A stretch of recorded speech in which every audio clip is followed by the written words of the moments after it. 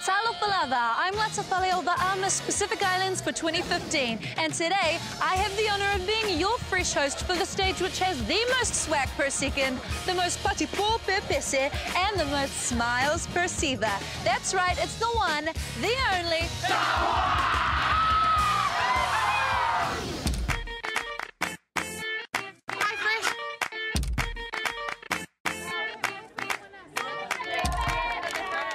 up on the show, we're tracing our cultural tracks with fresh facts. Catch the queen of minding everyone else's business, Panirazzi.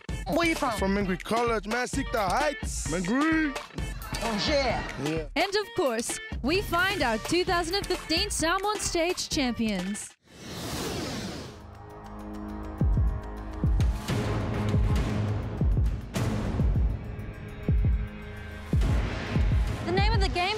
Stand out with that Samoan statement of superiority. There are no prizes for taking it easy, so first impressions are everything. With over 32 schools vying for the first place, you gotta bring it all when you set that up on stage. Set that ulufale on fire! Sounding!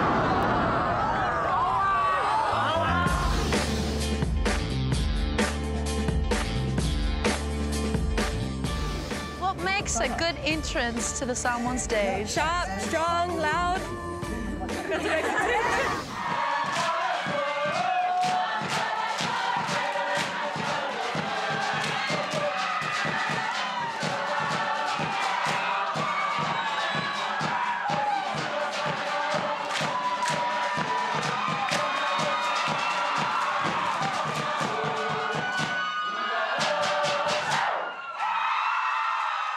good entrance is when everyone is smiling and when everyone has the same moves in unison and is really sharp.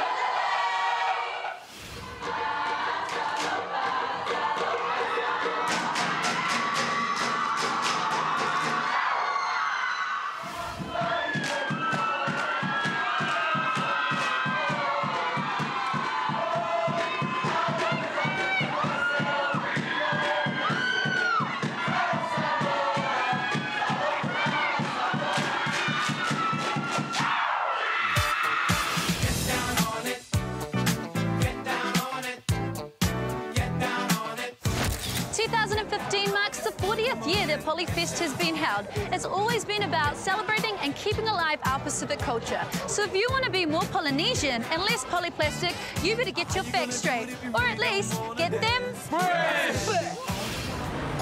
Just wait. Wait. we're talking about the Samoan traditional dress. Oh. Yep, right away we're going to talk about a chief or matai. Now, there's two type of chief or matai. One of those is one is a talking chief called an orator, or tula fale, and the other one is a high chief or an advisor called an ali'i. Now, they wear slightly different attire for this special occasion.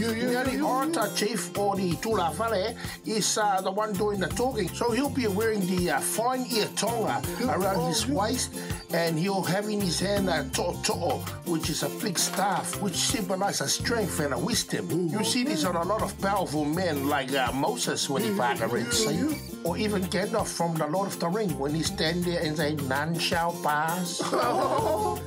Also, another accessory accompanied to the to'o is the uh, fue, which is a fly whisk to get rid of the lango and the fly touching your face. This thing is made out of a sennit rope on a wooden handle and it's look really pretty like a braided dreadlocks.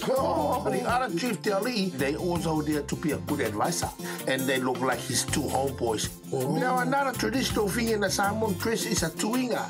This is a headdress from Samoa, a very elaborate headdress that used to be worn by the chief, but now is worn by the chief's son, the manaia or the taupo, the chief's daughter. It's very oh. important. They wear a big headdress and they cover their body in oil and they're wearing a beautiful tonga, fine mat wrap around their body. Oh. And the mat usually have a dyed chicken feathers, very colorful and very special. And today you usually see this thing in a celebration, ceremony or birthday. Very special, very special in the history.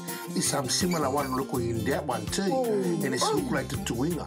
So it shows an important looking things to wear for important person. And a things like that. Well, that's my brainy explosion for this week. My name is Motoa Pototele. Tune in next week when I give you more brainy advices so you can win a game show on a TV.